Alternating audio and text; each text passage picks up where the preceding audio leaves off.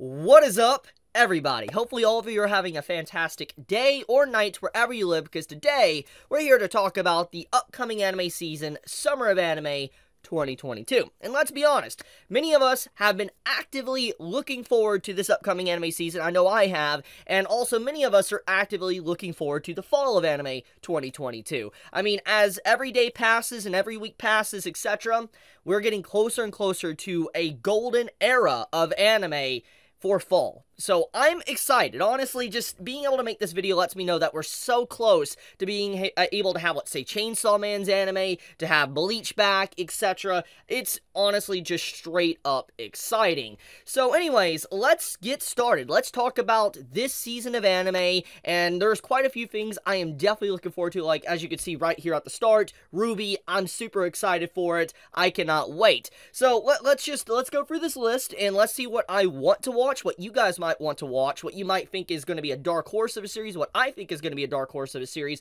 what I might be on the fence on, and maybe you guys might recommend me and steer me the other way to watch it or review it.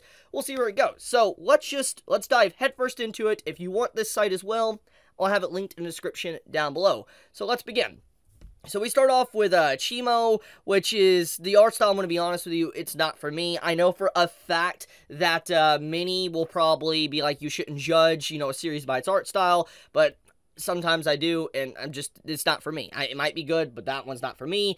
Now, RWBY, this is the one I'm excited about to talk about, because I made a video about a week and a half, two weeks ago, talking about, you know, the upcoming RWBY anime, and as you know, RWBY is going to be made by Studio Shaft, the same studio that has brought us March Comes In Like a Lion, and also the same studio that brought us the Monogatari series. So, it's incredibly exciting to see such a great team and a great studio working on a RWBY anime. And FYI, RWBY is incredibly popular in Japan. Very, very popular. So to be able to have a retelling of RWBY in a 2D format that isn't CGI is just incredibly exciting. And I just, I cannot wait to see it and that shaft, you know, direction with it because of how colorful RWBY is in the first place. So yes, obviously, I'm going to be doing reviews and talking about RWBY when it is set to air.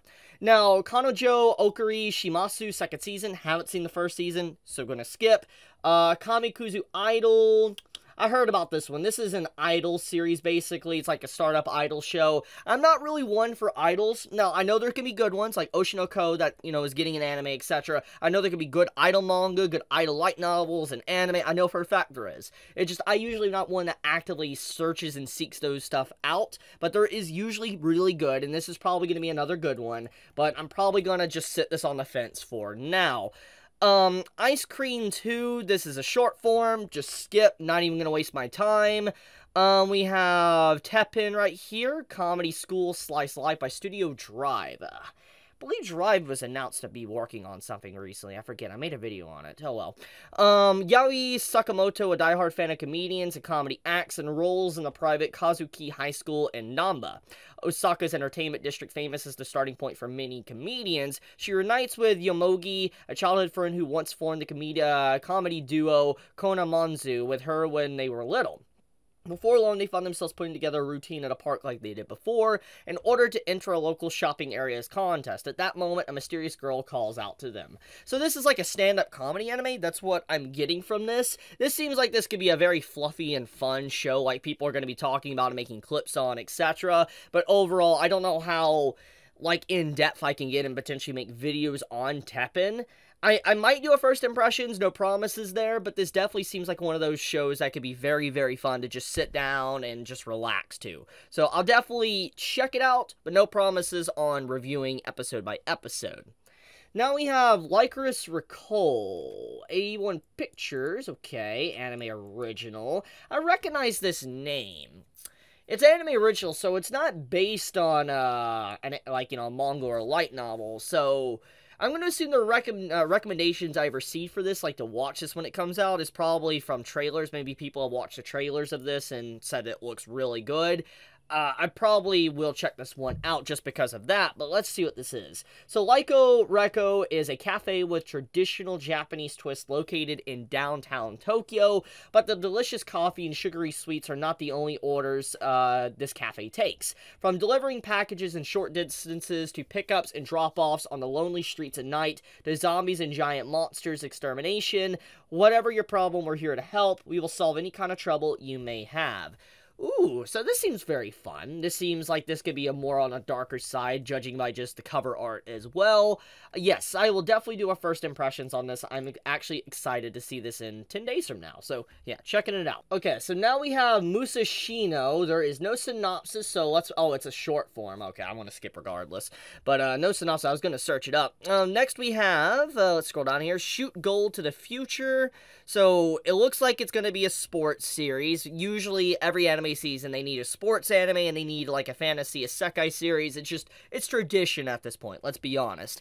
So um, shoot goal to the future. Uh, Atsu Asushi, a former captain at Kikigawa High School and the world-renowned courageous captain for a famous Italian soccer team, and Hidetto, a student at Kakigawa High School who seems uninterested in now weakened soccer team. Their meeting is the start of a new legend. Okay, so a traditional summary synopsis for a sports series. However However, one of the big things about sports series and why people love sports anime and manga, etc., is because one of the big things about it, one of the only things that writers can really do with these type of stories is character development and characterization because it's all about the characters, it's about the team and how they grow as people throughout the storyline. So because of that, you know, if you're someone that's really into like a, a realistic growth of a character and, you know, just development, you know, sports series are always what you go to. And so this is probably going to be good. It's by EMT Square. Don't know much about that studio, but it's anime original. So it's not based on a manga. It's not based on a light novel. So this could potentially be good. I'm actually, I might check this one out. No promises, but I'll probably check it out. Uh, Engaged Kiss, no synopsis, A1 Pictures, and it is original. Comedy, romance, supernatural. Okay, so let's, uh, let's check this out. Let's see what this is.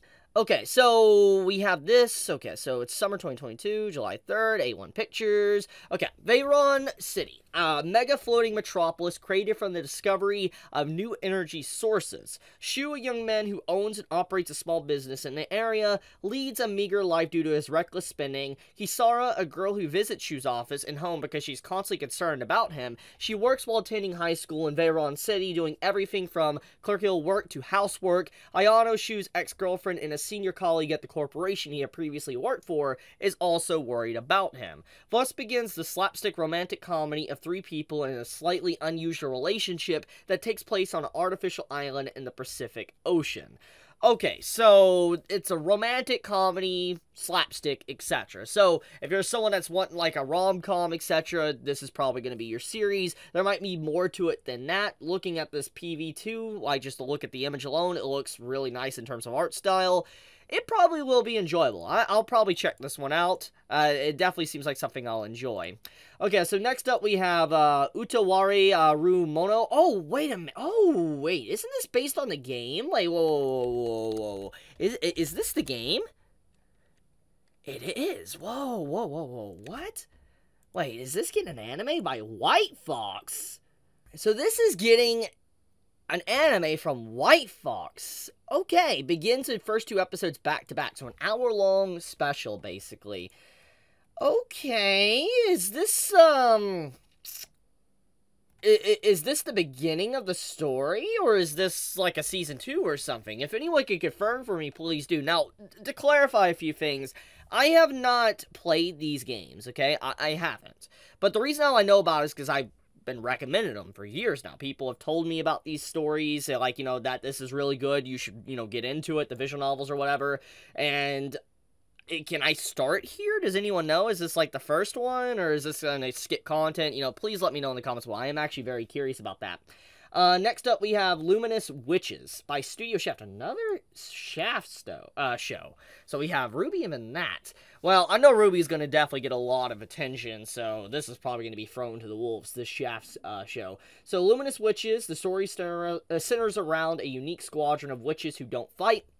Instead, the squadron sings and performs music to protect the smiles of those who have been driven out of their hometowns by the Neuroi. Anime original.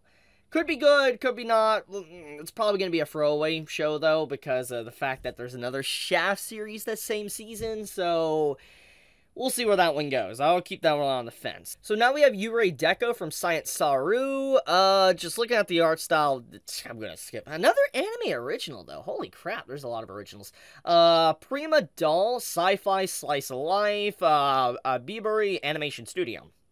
Uh, Cafe Corone Cote bo- uh, boast an unusual roster of employees. A group of automata or anonymous mechanical dolls served their patrons with a smile, but they weren't always so suited to domestic life. Just a few years prior, uh, automata served as weapons in the Great War, fulfilling the uh, bloody purpose for which they were created. Now that the war has ended, these machines with human hearts search for their place in unfamiliar, peaceful world, and their search begins at the Corone Cote Cafe. So this is Violet Evergarden. Okay, that, that, that's literally what this is. It's Violet Evergarden, but with some differences, a little bit of differences. That probably could be really good. The only thing is, it's it looks Moe Blob, so I wonder what they're trying to do there. Maybe they want to contrast the dark theme with the cuteness. We'll see. But uh, this feels like a sci-fi-ish, like uh, Violet Evergarden. That's exactly what this looks like, so I'll probably check that out. Uh, what we have here is Tensei Kenja no Isekai Life, Die 2, I'm, I'm not reading all that, Action Fantasy, Adventure, Revel Root premieres the first two episodes back to back. Getting a Sekai to a magical world and developing incredible powers is every otaku's wildest dreams. But for Salaryman Yuji, it's the stuff of absolute nightmare. He's in the middle of a mountain of work, and when he gets unwillingly pulled into a fantasy realm where he accomplishes the inevitable feat of developing a second character class by making the most of his monster tamer abilities, now he's traded the office for venturing to make a living, but he keeps getting roped into major events because his powers are unmatched, second to none, and he doesn't even realize it yet. Okay, so okay, so if I can understand this, this is once again run of the mill. You know, you're you know you're reincarnated in the world, transported to another world type story. If I'm understanding this right, it, it, it's obviously going to be a power fantasy. I mean, clearly he's very strong, and even says in the description. But it seems like he doesn't want to be in the world, and he just wants to relax, but he keeps being forced to actually doing things that sounds fascinating, depending on how far the concept wants to take it. I'm gonna check it out, obviously, because I do like my isekai trash. I, I really do. Don't don't hate on me. I, I just love it. So I'm definitely gonna check it out just for that reason alone. I don't know if it's gonna be good, but we'll see. Definitely gonna check it out. Definitely do, you know, a first impressions on it. Uh, next, we have Classroom of the Elite Season 2. Now, I am super curious about this one because I'm in reading the light novel. I'm on Volume 4 for clarification. Volume 4 of the light novel, A Classroom of the Elite. And Season 1 was not good. Just gonna say. I, I already knew it before I read the light novel, but after reading it, after I talked about the announcement of Season 2, it's very clear how bad season one was. So I am genuinely interested on how the second season of Classroom of the Elite's going to be. I'm not going to promise videos on it, but I'm probably going to watch it just out of sheer curiosity. I am very curious to see how Classroom of the Elite Season 2 handles some of the content that was cut or rushed in the first season. So we'll see where that one goes. I have that one on the side for now. Uh, next up, we have a card fight Vanguard. There's always a card fight series, man. I'm going to skip it because I'm not interested, but man, there's always a card fight series. Uh, next, we have Kinso no Vermeil, uh, Staple Entertainment, Ecchi Fantasy School Shonen. Been a while since I've seen that combination. Uh, meet Alto, a hapless student, a Royal Ortiga I probably just butchered that. Magic Academy, whose academic performance leaves much to be desired. Rather than take a sensible approach to salvaging his grades in time for graduation, uh, Alto decides to summon a bit of other otherworldly assistance. Only after does he learn he's bound the legendary she-devil Vermelli into service as his familiar. But while Vermelli is a powerful ally sure to turn his grades around, her magic can only be replenished with a kiss, and that makes everything go to hell with Alto's jealous childhood friend Lilia. Ooh, okay, so obviously this is probably going to be a trash series. I'm, I'm just going to keep it real. Even if it's fun and entertaining, it's going to be trash. And the reason why I say that is because it's going to be very fan service heavy. It's going to be one of those series that, you know, is just is going to be eye candy for a lot of people. Now, I could be wrong. I legitimately could be wrong, because Rosario Vampire was eye candy, but a very good story. If you've ever actually read that manga, don't watch the anime, just read the manga. So this could be good. This legitimately could be a good show. But looking at the way it is, it's probably just gonna be funny. It's gonna have some fan service in it, and a little bit like that. I I'm probably gonna watch it just out of curiosity because it's been a while since I've actually seen an anime with this concept. It's it's been a bit honestly, so I'll probably just check it out for that sheer fact alone. Um, next we have Overlord Season 4, which I have talked about, and I am so pumped. I'm so freaking pumped for Overlord Season 4. Like, seriously, I cannot wait for it to air, because I'm going to get some of my favorite content finally adapted. And I really hope that Madhouse brings their A game. I mean, looking at the trailer that released, it does look like that. But anything can happen. But I really am excited for Overlord Season 4. Please let it be good. I am so excited. Next, we have Tokyo Mew Mew. Wait, wait, what? Tokyo Mew Mew? I've never seen the original, but there's another one? What? Uh, is this like a remake? I I don't know if this is a remake or not. If anyone could cl uh, clarify, is this a remake or is this like a continuation? Please do. But I never watched the original. Um, next we have Jashin-chan Dropkick X. Okay, so season 3 of Dropkick on my Devil. So I haven't seen the other season, so I'm to have to skip. Uh, Mamahaha no Tsurego. Um, let's see. Comedy Romance Project number 9 based on a light novel. Uh, high school. Is there any better place to start fresh after a horrible middle school relationship? Nope. Not unless your ex ends up at the same school as you. It is now your step sibling. Oh my goodness, we have some domestic girlfriend going on. What was that supposed to be? A sanctuary of peace where I would avoid ever seeing her again has become a living nightmare. Everywhere I look, I see her. In my house, in my school, in my class, there's no escape. She even claims that she's the older sibling. Like hell she is. But I won't lose to her. After all, I'm the older brother in this new family situation. That's right, we're family now. No matter how much we may have fought, we loved each other before, we saw one another's true colors and realized we weren't meant for each other. That's why even though we may keep up a buddy-buddy sibling act for the sake of our parents, things will never go back to the way it used to be. Ah, uh, yes. Ah, uh, yes. Okay, okay. okay. Um, Isekai Oji. So I heard about this. So apparently, like, an uncle or an old man got isekai'd into another world. So I I heard about people uh, about this series. People were recommending it to me. Autumn 2017 hit by a truck, ah yes, truck gun, uh, when he was 17 years old. Takafumi's uncle suddenly awakens from a coma that lasted 17 years. When Takafumi visits him in the hospital, he sees his uncle muttering nonsense, declaring that he has returned from another world named Grand Bahamut. Wait, whoa, whoa, what? Wait. So it's literally after the Isekai comes to him, when the story ends, and the person goes back to his original... What? That sounds cool. That legitimately, okay, this might be the dark horse of the season. Legitimately, I think this is the dark horse. This sounds really freaking cool. Next, we have Made in Abyss Season 2, and gotta tell you, I'm also excited for this. Like, if there's, like, three series that I'm truly looking forward to, it's Overlord, Made in Abyss, and The RWBY Show. And Devil is a part-timer, but the other three are the real ones I'm really looking forward to. Made in Abyss Season 2, oh my goodness. I'm going to tell you right now, as someone that, uh, you know, has read the manga, I am up to date with the manga, okay? That's clarification. If you thought season one was dark, or the movie that you have to watch, by the way, if you have not seen the movie that came out, you have to watch it before you see season two, because it literally is a gap in between season one and season two. But, um, all I'm going to say is if you love Lovecraft, like Lovecraftian horror, cosmic horrors, etc., you are going to fall in love with season two of Made in Abyss. I'm not going to go much further than that, and I know it seems very generic for me to just say the series is dark, but I don't want to spoil because it really is a dark dark story. And I will say that, like, if you know anything about Lovecraft, Lovecraftian, etc., you will know how dark those stories are.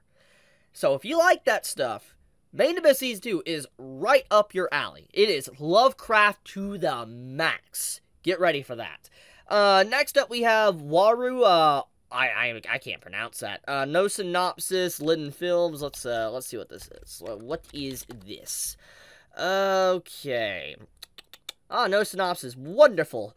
Uh, Pony Canyon. Okay, so just okay, we're just gonna I'll shelf that for now. Uh, next up we have a set. Oh my, it's this series. okay, so this one right here. How can I say? Um, if you remember World's End Harem, okay, how that kind of is, or you know, just those type of shows, like it's just so shameless and just trash in terms of just so much fan service, etc. This is that series. The, the, the, this is going. Oh my goodness. I'm just gonna tell you, man. That's this is gonna be like the world, a World's End Harem, a redo of Healer, etc. of the anime season. That's all I'm gonna say. And yes, I'm up to date with the manga. That's all I'm gonna say too. But uh, this is this is this season's World's End Harem. Um, Shin Tensei no Oji. Uh, no synopsis. Gonna skip. Uh, Kimicho Musume no Sawa Garakari.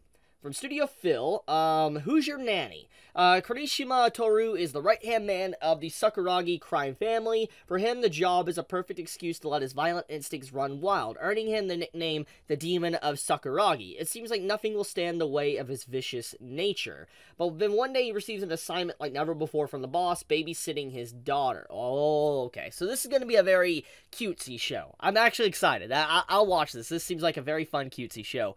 Oh, it's oh yeah, this is coming out this season. Okay, so Call the Night. Okay. Let's talk about this one. So, this is probably going to be another dark horse of this anime season. Now, let me let me clarify. I have read the manga of Call the Night. I talked about this series like last year actually. I I, I literally talked about this on social media last year. And the reason why I even started it, I want to be just frank with you is because of this tag right here, vampire. Okay, I just want to make sure I'm transparent. I started this series of Read the Monk as vampire because I'm I'm a fan of vampires. I like vampires. I like fantasy stories around vampires. It's really cool. I'm a sucker for those type of stories. I am, especially vampire romance stories. And this had both of those things. I was like, I was curious. I was really curious to see if this would be good or not. I read the manga. Manga's great. I wouldn't think it's the best thing I've ever seen or read, but it's a good manga. Very, very solid manga. And I'm up to date. And I've seen the trailers for this, and the trailers look really good, very colorful, and I think it matches the tone perfectly, at least from what I've seen from the trailers, of Call of the Night. And so, if you're looking for a vampire romance that's kind of a little bit different, I recommend this. It's going to probably be good. So just give it a shot, check it out, because I think it will be a dark horse of this anime season. Definitely going to review that show. Um, Sorry De- uh, Demo Ayumi, uh, I've seen this these characters before. Anyways, comedy, romance, school, shonen, slice of life. When Ayumu uh, Tanaka falls in love with the only other members of the school, Shogi Chess Club, Urushi Yam- uh, he vows to confess his love for her as soon as he can beat her in the match. But this proves difficult. Urushi is nevertheless thrown off by Ayumu's aggressive styles. The two begin a cat and mouse game of both shogi and life in this heart tickling romantic comedy. Okay, so it's a rom com and it's a little bit Kaguya inst- uh, inspired. This will probably be a good show. I'll probably watch that on my own time.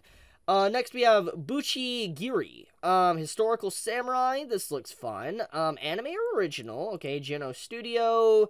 An era where samurai control Japan. The mass demons annihilated all but one member of the Shinsengumi who have worked to maintain the peace and public order in Kyoto. Seven criminals are chosen as substitutes for the deceased Shinsengumi members, and they are led by Ichiban Boshi, whose parents who were also killed by the mass demons. Yeah, this seems fun. This seems fun. I'll I'll fence it I might check it out. Uh, Shadows House Season 2. Ah, uh, yes. What a... Out of all the things that came out from, like, Studio Cloverworks last year, Shadow House was definitely a really solid series. I really liked Shadow House. Very unique. Very, very unique show. Reminded me a lot of Rosen Maiden. Like, if you ever have watched Rosen Maiden or read the manga of Rosen Maiden, just the very tone and vibe of Shadow House gave me that feeling. I really am looking forward to season 2. I cannot wait to watch this. I'll probably watch it in my own time, but I am excited about Shadow House.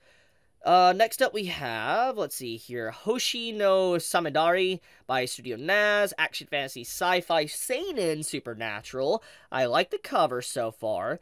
Um, everything about college student Amamiya uh, is average. Grades, looks, and his uh, outlook on life. So what happens when he awakens one day to a talking lizard who informs him that there is a gigantic hammer in outer space?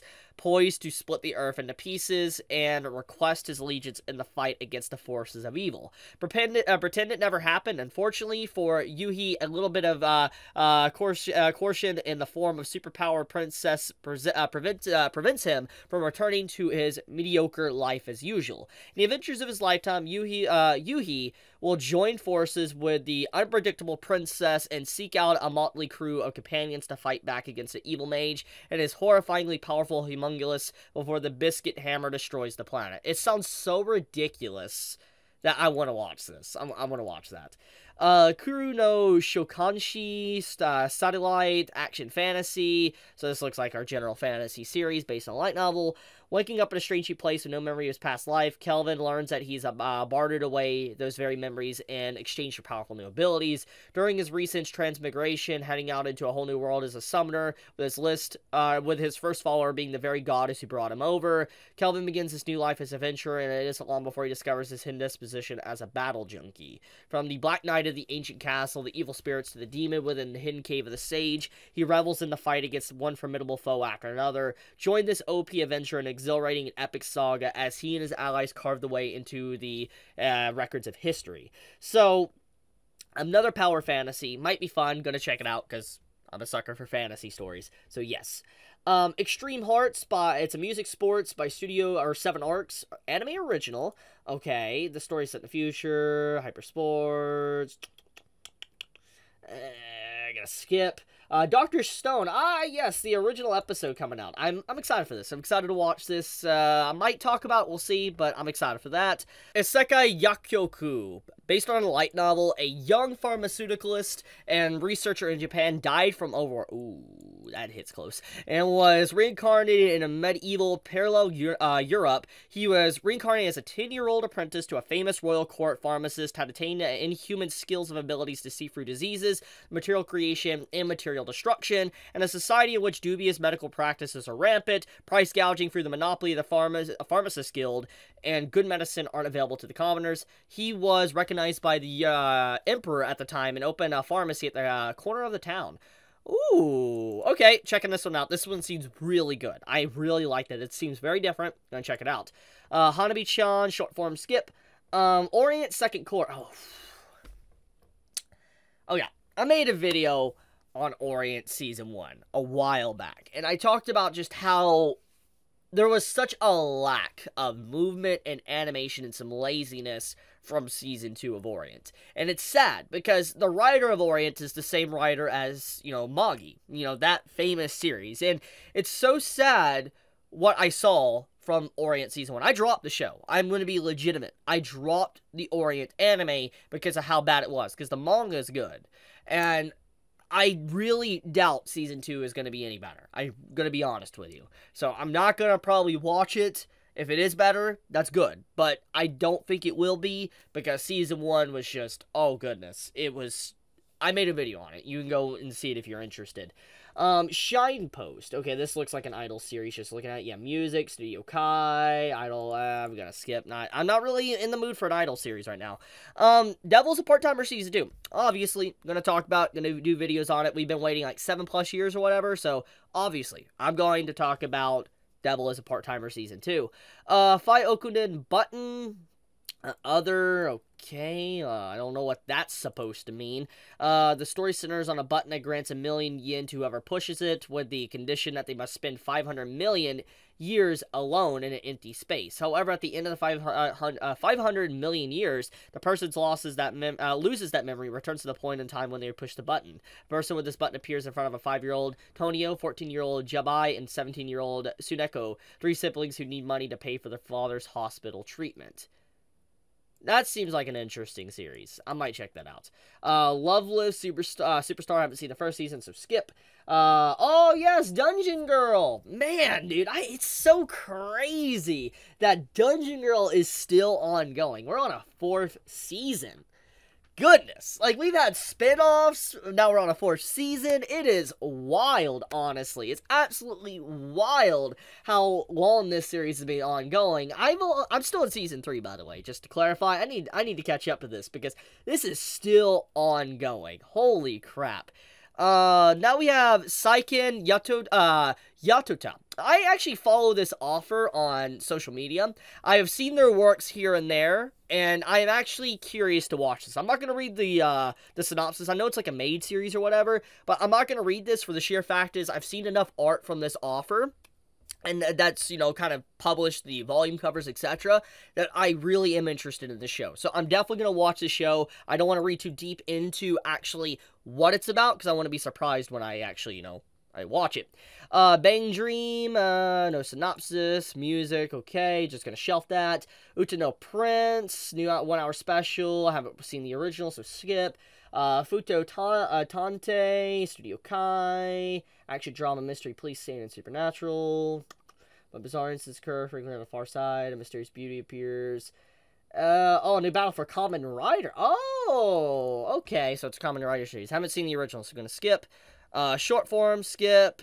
Uh, don't know what that is, so skip. Another TV special. I haven't seen the other stuff, so skip. KG File. This looks interesting by the cover, but don't know what it is, so just shelf it. Over the Rainbow, TV special, skip, TV special, skip. Okay, so that is this anime season. There is quite a bit that's coming out.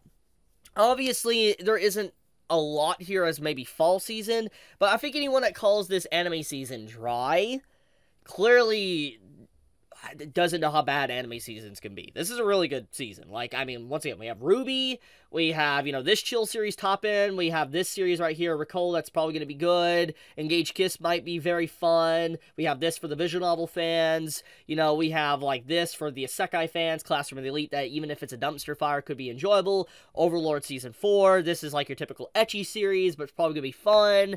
I mean, we have stuff like Tokyo Mew Mew, Made in Abyss. This Isekai. Oji-san seems really unique. This is literally Domestic Girlfriend, the remake pretty much. I mean, this one's going to be World's End Harem. I mean, th there's a lot here. Call of the Night. Uh, anyone that calls this season dry doesn't know a dry season. Th this is a really good anime season. I'm actually excited. This is going to be fun. So I'm going to leave it at that. What are you guys going to be watching? Let me know in the comments below. Thank you so much for watching as well. Please leave me a like. It does help me out a lot, and it helps with the videos being noticed, etc. So please leave a like on this video if you did enjoy it or you've watched to this point. Thank you so much. But with that, guys, be safe, stay healthy. Chibi out.